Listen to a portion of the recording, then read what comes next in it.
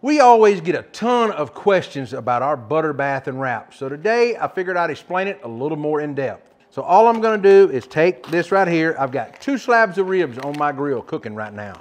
I'm gonna open this bag of butter bath here and per the directions on the back of the bag, I'm gonna use a quarter cup of this per slab of ribs. So I know that I'm gonna put one scoop in and two scoops in. Now, I've got eight ounce bottles of apple juice. I'm gonna get two of them in there. But here's my trick. I'm only going to put one in right now to start mixing, get it mixed up really well where I can shake all that around. Then I'm gonna go back and add the other one and shake it up a little bit more. Hold your lid and shake it up. It's just that simple. All right, now let's add another bottle here, get it all shook up. I'm gonna be ready to wrap our two slabs of ribs.